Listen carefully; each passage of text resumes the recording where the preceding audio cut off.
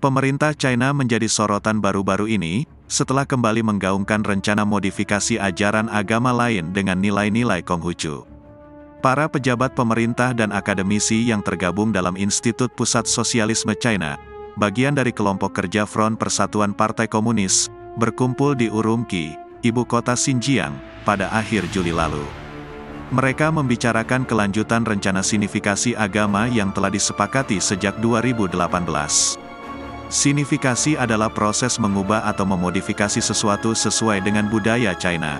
Proses ini menyasar lima agama yang diakui di China, yakni Kristen Katolik, Kristen Protestan, Islam, Buddha, dan Taoisme. Dikutip dari The Diplomat, Presiden China sekaligus pemimpin Partai Komunis, Xi Jinping, memulai kampanye sinifikasi pada 2014. Kampanye itu menerbitkan buku biru keamanan nasional pertama Beijing yang berisi peringatan terhadap infiltrasi agama oleh kekuatan musuh di barat. Komunitas Katolik dan Protestan di China dengan ikatan teologis dan dalam beberapa kasus gerejawi dengan Barat dipandang sangat rentan terhadap konspirasi Barat untuk membendung atau melemahkan China, kata Profesor Kekristenan Dunia di Duke Divinity School, Silian, seperti dikutip The Diplomat, tanggal 30 Oktober tahun 2019.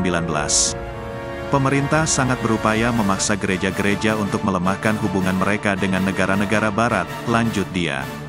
Pemerintah China, lanjut Silian, berupaya mendorong agama-agama untuk melayani kepentingan tertinggi, negara guna mendukung partai serta nilai-nilai partai. Hal ini dilakukan karena China ingin Xi Jinping menjadi satu-satunya sosok yang diagungkan di negeri tirai bambu. Maknanya menjadi jelas ketika Anda melihat penduduk desa disuruh mengganti poster Yesus dengan potret Xi Jinping.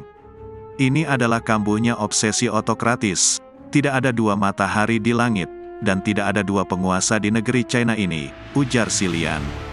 Sejak 2018, ratusan gereja independen di seluruh China ditutup imbas aturan ini. Para pemimpin gereja dilecehkan maupun dipenjara. Salib-salib juga dimusnahkan serta menara-menara gereja dipenggal. Gereja Zion merupakan salah satu gereja protestan ternama yang terkena dampak.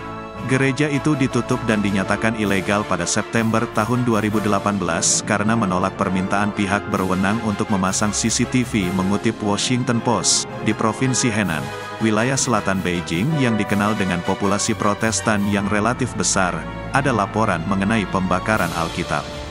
Bukan cuma itu, sejumlah video pembakaran salib di sana juga beredar luas di jagat maya. Lebih jauh, Sinifikasi ini juga terasa amat nyata oleh penganut agama Buddha dan Taoisme. Pemerintah Beijing melarang otoritas kedua agama ini membangun patung keagamaan berukuran besar atau melakukan investasi komersial.